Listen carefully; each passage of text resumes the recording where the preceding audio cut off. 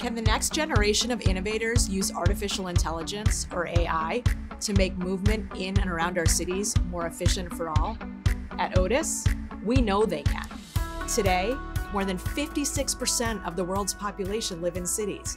That number expected to balloon to nearly 70% by 2050, resulting in more crowded roads, overwhelmed public transport systems, and we see the extraordinary potential of AI, especially in the hands of bright young minds, to help design more accessible and highly connected communities. For this year's Made to Move Communities Challenge, we're asking student teams from across the globe to use AI to create smarter ways to navigate their cities, to make urban mobility more sustainable and importantly, more inclusive for all. We're empowering participating students to make a real difference.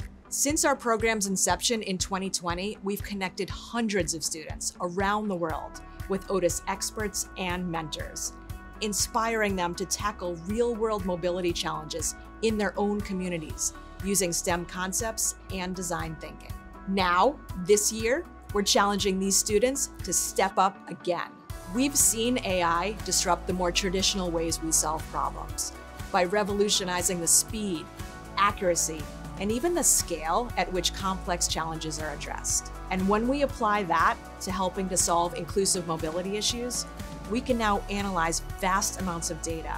Then we can apply predictive modeling, and as a result, we can identify options to improve accessibility or the overall commuting experience. And as we look to celebrate the five year anniversary of the program, we're excited to crown our first ever global champion selected from the four winning teams representing our Otis geographic regions. We aim to engage students across the world to inspire a lifelong interest in STEM learning. Follow Otis for updates on how tomorrow's leaders are applying AI to create more inclusive communities.